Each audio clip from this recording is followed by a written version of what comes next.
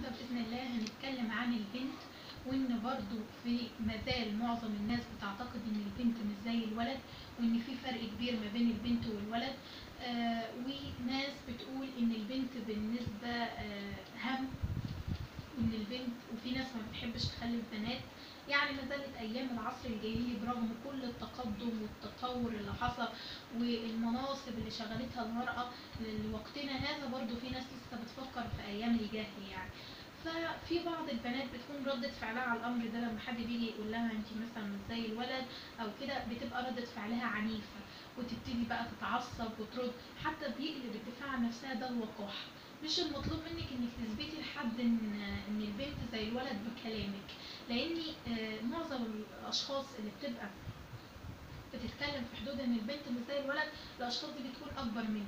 فبالتالي لو دخلتي معاها في جدال الأمر بيقلب معاكي الوقاحة إنك وقحه وبتتكلمي مع الأكبر منك بصوت عالي لذلك أنت هتثبتي بأفعالك أو مش لازم تدخلي جدال عميق مع شخص.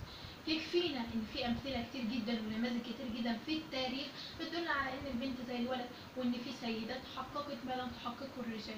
يعني مثلا لو اتكلمنا أول حاجة عن الخنساء.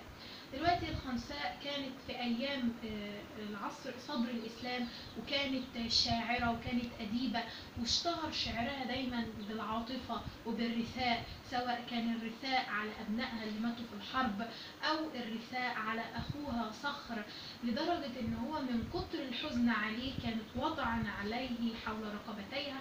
ولما الناس شك شكتها لعمر بن الخطاب رضي الله عنه وأرضاه استدعاها وقال انشدي لي بعض الشعر اللي قلتيه في صخر قالت له القديم ولا الجديد. قال لها هو في جديد؟